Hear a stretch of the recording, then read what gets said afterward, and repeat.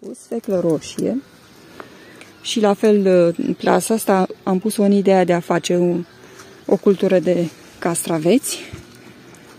Sfecla roșie și castraveții teoretic ar trebui să meargă bine împreună, dar iarăși singura problemă este că nu prea au spațiu castraveții, deci prea aproape plantații de sfeclă, dar rămâne de văzut cum anume se vor dezvolta ei aici. Tijele le consumăm, în mod special Iulian consumă în fiecare zi. De asta nu prea mai au uh, frunze, pentru că deja am tăiat foarte multe tije. Uh, dar ei, mm, sfecla crește fără probleme, chiar dacă tai ea se mărește în, uh, în căpățână. De fapt, e posibil ca acest lucru, din, datorită faptului că eu tot taie aici, să stimulez uh, creșterea în rădăcină.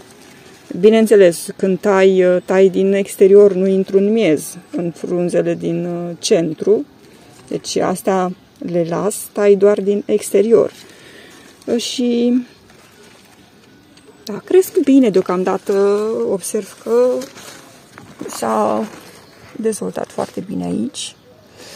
Am uh, fertilizat uh, la început cu macerate. Am dat multe macerate, macerate din uh, găinați de pasăre la început, când am plantat aici, apoi am fertilizat cu lucernă, cu păpădie, în foarte multe macerate pe bază de uh, bogate în azot, după care uh, acum o să administrez cenușă pentru că au nevoie de uh, mai mult potasiu și calciu în această fază pentru a crește căpățâna în, în uh, rădăcină. Morcovul uh, în acest strat l-am pus un pic haotic anul acesta, l-am pus, l-am semănat tot la fel în cofraje de ouă, dar semințele nu au fost tocmai bune și pe urmă am semănat pur și simplu. Ăștia sunt în, în cofraje de ouă care sunt la distanță egale, și apoi am semănat pur și simplu în locurile goale care au rămas am uh, aruncat semințe direct. Uh, ar fi trebuit să fac un experiment cu, cu hârtia, dar n-am mai reușit anul acesta, probabil la anul, să văd cum anume se uh, dezvoltă pe bandă de hârtie. Aici avem iarăși castraveți cu morcovi. Uh, ce să zic, au legat dar la fel au nevoie de fertilizări mai, uh, mai des și în grădină din nefericire nu am reușit să fertilizez totuși atât de des în zona asta la castraveți. I-am plantat mai târziu totuși, pentru că afară, după cum bine știți, s-a încălzit mai târziu afară și am, n-am putut să-i plantez. Au fost răsaduri cam chinuite așa, ținte și la geam, apoi în seră și aici am pus lângă cartofi un fir și la fel, rămâne de văzut. Deocamdată e totul ok, doar că trebuie să vin să fertilizez aici. Cartofii în cultura asociată cu țelina. Am aici un rând de țelină, un rând de cartofi, Apoi aici am un rând de usturoi. Deci trei culturi în același strat.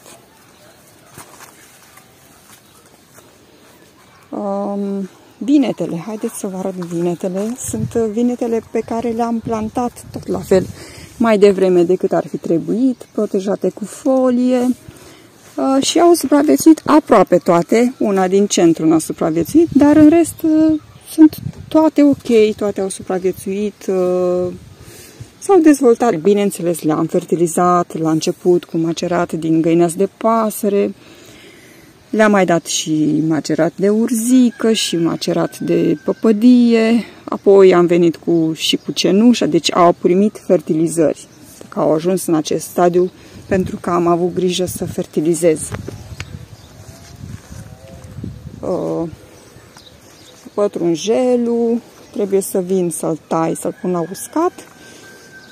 Aici iarăși vinete. N-am făcut nicio lucrare momentan la vinete, voi face, dar uh, nu acum. Eu aștept să lege primul fruct, după care vin și fac uh, acolo unde e necesar uh, și copilire și defoliere, deocamdată nu intervin. Am intervenit doar la uh, primele două frunze de jos, am, le-am îndepărtat, ale care atingeau pământul, le-am tăiat și un lăstar tot la fel de jos, care nu și avea sensul. În rest, momentan, nu, nu intervin.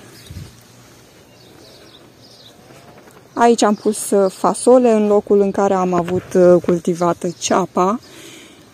Uh, ceapa care mm, mare parte s-a stricat, vă povesteam, s-a suprapus rândurile aici, am avut două rânduri de ceapă și niște roșii, parcă anul trecut. Ideea e că unde a început să se strice, uh, stricăciunea se întindea și la celelalte, așa că am ales să scoatem toată cultura, să o punem, uh, să îndepărtăm partea stricată, să o tăiem, ceapa verde, să tăiem uh, și să o congelăm. În acest fel avem ceapă verde și pe timp de iarnă. În locul în care noi am avut aici ceapa și două rânduri de salată, am pus fasolea. Cultură succesivă. Bineînțeles, acum au crescut fasole, dar uh, pe lângă fasole au crescut și bălările și trebuie să vin să îndepărtez toate bălările și, bineînțeles, uh, că au și ele rolul lor, ori le dăm la găini, ori dacă nu facem mulți cu ele. Aici avem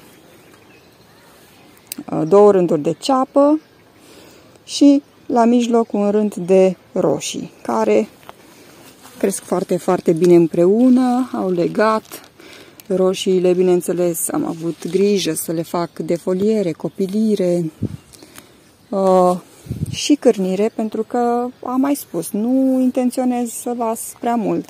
Bine, nu am reușit să cârnesc toate roșiile, dar uh, atât cât am reușit, uh, deja ele au legat până sus și uh, acest lucru mm, grăbește coacerea fructelor. Și pe mine mă interesează să am mai multe roșii coapte decât gugonele, pentru că eu consum mai multe roșii sub formă de bulion, de zarzavat, și gogonelele sunt bune și ele, dar uh, nu atât de multe. Adică nu, nu consumăm exagerat de multe gogonele totuși. Aici am avut zona în care s-a stricat ceapa și am scos-o. Asta, partea asta de aici și toată, tot rândul ăsta. Și aici am, uh, deci partea asta așa și partea asta așa. Amândouă. Unde s-a stricat, am îndepărtat ca nu cumva să mi se ducă boala și la uh, celelalte. Da, roșiile se prezintă foarte bine. Mulțumim lui Dumnezeu că um, până acum nu am avut probleme. A legat până sus, nu au fost probleme.